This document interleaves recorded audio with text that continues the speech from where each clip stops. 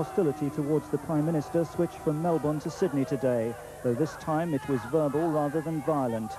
Police, embarrassed by yesterday's blunders when Mrs Thatcher was mobbed during a walkabout, kept the protesters well at bay. This time there were barriers, and this time the police abandoned their softly, softly approach, taking a tough line with the demonstrators. Once again, a mix of IRA sympathisers and gay rights activists. This is 20th century democracy. But behind the official smiles, the recriminations continued. Australian police insisting they had warned against the Melbourne walkabout. British officials angrily denying there'd been such advice. Nevertheless, today, Mrs Thatcher's walkabout in Sydney was cancelled because police chiefs felt it was far too risky. However, there were few risks deep inside the Australian Navy's Submarine Warfare Centre, where Mrs Thatcher joined an operational exercise in a submarine mock-up to sink a warship. Fire! Fire!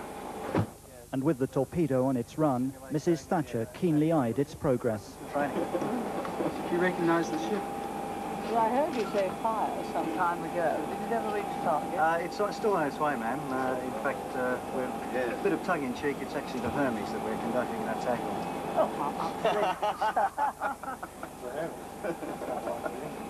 Mrs. Dodge, it's not long gone now, you know. We, we sold it to India. That's right, ma'am. It was a very, very good ship. I've been on it. The Hermes was in the task force sent to the Falklands. Diplomatically today, Mrs Thatcher didn't stay because the war games ended with the Hermes being sunk, something the Argentines failed to do. Apartheid, as much as other people. But there is nothing in sanctions that will improve the situation. It will make it worse. Whatever makes people who put the questions that you do think that by adding starvation of black families and black children... But there is and- already and- starvation. And poverty. There is already poverty.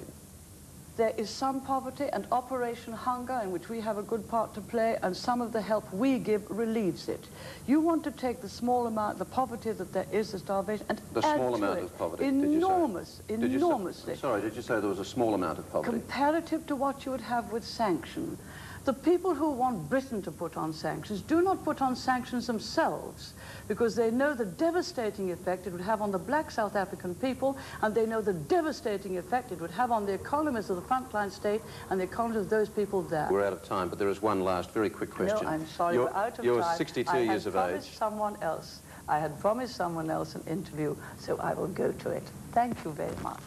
Thank- Commonwealth foreign ministers have Meeting over, their conclusions published, it was clear the Commonwealth Committee had no new sanctions to announce. Instead, they'd agreed to campaign for existing measures to be observed more strictly. I can't think of another Commonwealth meeting in which we have achieved so much in so short a period among such a wide range of countries. South Africa responded immediately. No, no sovereign state can uh, can permit the the, uh, the uh, um, interference internal affairs by other countries. Britain was absent. Mrs Thatcher opposes sanctions, a view she repeated when asked about the meeting. the enormous problems which that country has of getting rid of apartheid would not be helped by, from a comfortable luncheon or parliament building or international conference in a five-star hotel, deciding that there should be poverty and starvation on the part of a large number of black people because we would choose to impose comprehensive sanctions. Even so, according to the Commonwealth report, the limited sanctions Britain applies have cut British buying from South Africa by 20%. America's imports are down a third, and Scandinavian countries like Sweden and Denmark are down 60 and 96%. But the report names six other countries as stepping in to fill that gap. Italy and West Germany increased their imports by 10 and 30%. Spain's went up 84%. Japan, now South Africa's most important trading partner, lifted imports 44%. And Turkey and Taiwan showed the biggest increases, 132 and 146%.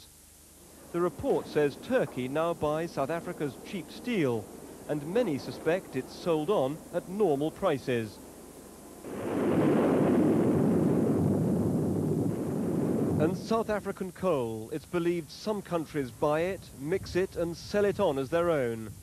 other countries are simply attracted by the exceptionally low prices, a deliberate South African policy. In a competitive world, this makes it uh, highly likely that some countries are going to be tempted to buy the coal, and that's exactly what happened. And in fact, South African companies were selling coal at below cost in order to get the coal out of the country and earn foreign exchange. And to a large extent, the strategy worked in terms of undermining the impact of sanctions. But gold escapes all sanctions. It's too important to the world economy. And although some measures, especially financial, are being felt, sanctions as a policy won't have a significant impact till South Africa's trading partners all agree to stop.